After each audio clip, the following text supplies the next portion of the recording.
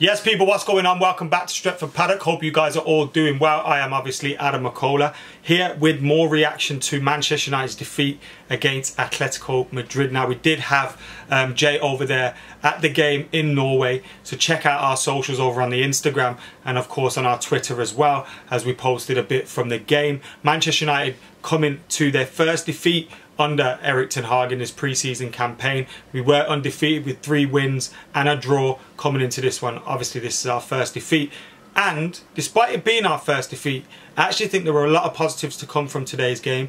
There were also a few warnings ahead of the new season as well. And while the transfer window's open, warnings that we can hopefully resolve and listen to and get the problem sorted out for Erik Ten Hag in this transfer window because there were a few warnings in this game today of areas that we need to improve in but there were a lot of positives as well and we'll get stuck into them. Before we do, make sure you're hitting that subscribe button, you're liking, commenting, sharing. United have another game in pre-season as well. One final game against Rayo Vallecano at Old Trafford tomorrow. Cristiano Ronaldo expected to return but I'm not expecting we'll see a lot of the players that started today so this was probably kind of a our last pre-season game for our main 11 that will take the field against Brighton um, next week at Old Trafford in the Premier League opener for us. So, you know, it was our last opportunity really to impress for many of these players because you wouldn't expect them to start two games in two days, although stranger things have happened and maybe one or two of them will be involved. Uh, we'll be at that game against Rayo Vallecano as well. Myself and Steve will be there, so make sure you're checking it, checking us out for loads of content,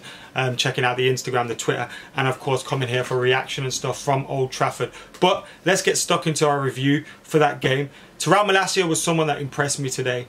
Um, and he's got us asking the question, will he be starting the game um, for Manchester United um, against Brighton? Because Luke Shaw was uh, unavailable today due to illness. Whether he's going to be involved in that game against Vallecano remains to be seen. Um, but Malacia's started a few games in pre-season. He's impressed. He's played a lot of minutes. He's got a lot, another you know, healthy amount of minutes under his belt today, uh, yet again, and he's impressing with his football. There's one pass today, uh, in particular for Anthony Martial. Martial probably should have scored from. Um, that was absolutely fantastic. The run was great for Martial and the endeavour to get the shot away. The finish should have been better, but the pass from Malacia was incredible. Um, and it got the player away and it got the, the player interested in making a run, you know what I mean? So great pass from him and some other impressive bits of play from him as well. And it's got me thinking, likely to start in that game against Brighton and providing the challenge there to Luke Shaw already immediately. Um, we saw Lindelof and Maguire at the back, at the heart of the defence. Maguire on that right hand side, and Lisandro Martinez was in the squad today.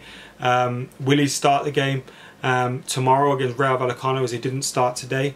Who knows? Um, but Lisandro Martinez being there, you'd expect him to come in on the left. Harry Maguire's been playing on the right. I thought defensively Harry Maguire was pretty good with a few good blocks uh, today. There were a few occasions where he took the ball out upfield, lost the ball and then committed fouls. Um, and I don't think Ten Hag would be happy with that. But defensively, he's looked a lot more assured in this pre-season. We need him to improve and play the way Ten Hag wants him to play. And that's why you'd expect the likes of Varane, if he'll complete 90 minutes um, against Rayo Vallecano to possibly challenge for his spot. But it looks like it'll be Lisandro Martinez and Maguire maybe starting against Brighton. Let us know your thoughts on that in the comments below. Um, unless he sticks with Lindelof due to the fitness of Martinez um, or Varane could come in. But you do feel like if you bring Lisandro Martinez in, he's probably going to be, you know, your starting centre back. So who's going to start alongside him? Um, you know, on paper you'd go Varane, but in pre-season so far we've seen a lot more from Maguire. So remains to be seen who the boss will go with there. At right back, Diogo Dalot, he looked like he missed Jadon Sancho today. Them two have, have made a made a partnership going forward. Um, and you know uh, they've looked pretty good in pre-season.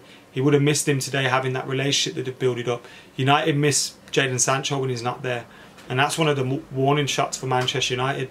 We're lacking depth seriously up top. Even if you had Cristiano Ronaldo to the mix, Martial went down today. He got substituted shortly after on around the 70th minute mark. You're hoping that's nothing more than a dead leg or a little knot um, because United need Anthony Martial. Outside of Martial, Rashford, Sancho, um, if Cristiano Ronaldo stays, you've obviously got an experienced, valuable member of the squad there in Cristiano Ronaldo. But outside of that, Elanga could possibly do with a loan. Facundo Pellistri is probably going to end up out on loan.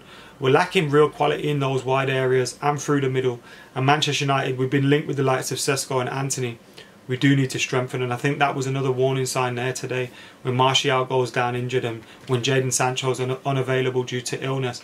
Um, illness that was called on the morning of the game, so he was out there with the squad. Um, and expected to start today's game, but he was ill. Now, hopefully, he'll be, you know, fine in a day or two, and he'll be available for that game against Brighton. Um, but you don't want to hear that, and you don't want to see Anthony Martial going down either. United need to strengthen in those areas. And in the midfield area today, thought Bruno, he was a bit wasteful at times today, particularly in the first half. There were good moments from him as well. We know what Bruno Fernandes is like though. He needs to tighten it up a little bit if he wants to continue to succeed at United under Erik Ten Hag. But we know Bruno will get goals and assists. I don't think Bruno's a worry for me. Fred, I thought he was very good. Got sent off today. Probably deserved second yellow card, but the referee was picking his times when to be harsh and when not to be and you know booking players when they when maybe could have got away with one and and not booking players when they maybe should have been booked. Atletico Madrid were at it today. It was the most unfriendly friendly of all time. Um, they really did go in but the kind of test United need ahead of the Premier League campaign starting. And I thought Fred showed today that he can be a valuable member of the squad under Erik Ten Hag. He's probably going to be starting that game but we need more quality in there. Christian Eriksen coming off the bench he showed in a matter of seconds the, the levels of diff, the, the, levels of quality between him and some of the midfielders we have when he's bringing the ball down out of the air and just passing it along. Simple things for him, but he just makes it look so easy and it makes a stark difference to some of the things that we have in our midfield. I would I would like to see us possibly go if Eriksen can start a game, go Eriksen, Fred and Bruno against Brighton.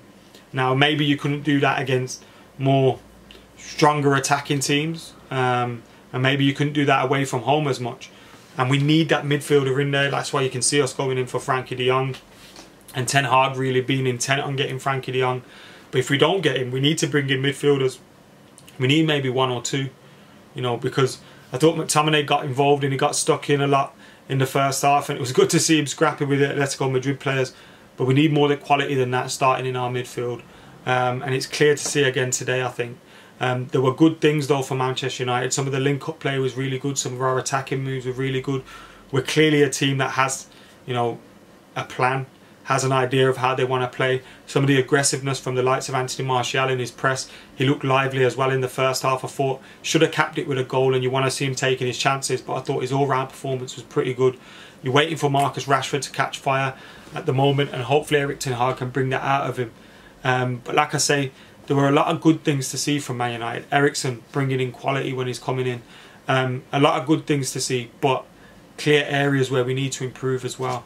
Um, and Manchester United need to sort those things out, hopefully, in the remainder of the transfer window.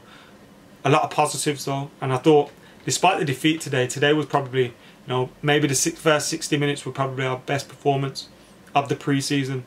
A lot of these players playing 90 minutes for the first time, etc. Um, and obviously we're up against a solid opponent. Um, but a lot of positives to take, few warning shots. But fingers crossed we can take those positives into the start of the season, continue improving, and add a few more players to the mix as well. Um, but yeah, let us know your thoughts in the comments below what you made of today's game. I thought Tyrell Malacia, probably my man of the match, possibly. But Eriksen, come on, and he just oozed quality. Absolutely oozes class when, when he's on the ball and it shows you how kind of we started that kind of controlling possession. Um, and I think Fred Eriksen Bruno against Brighton, I wouldn't mind seeing that, you know. Let us know your thoughts in the comments below. Like, comment, share, subscribe. We'll be back tomorrow with the game, uh, Rayo Vallecano. Um, and I'm sure we'll have plenty more on the way as well with the news and things. So we'll see you later.